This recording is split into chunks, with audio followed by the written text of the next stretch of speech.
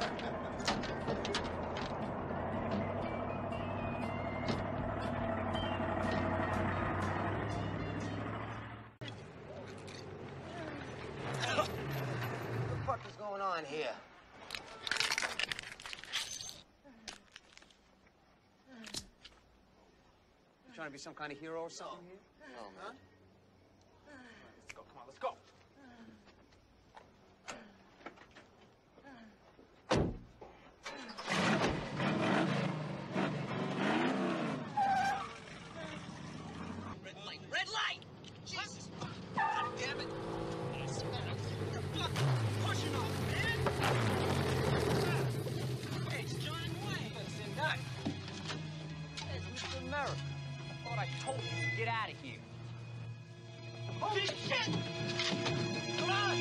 Ah! You must be thinking of somebody else, friend. Get out of here!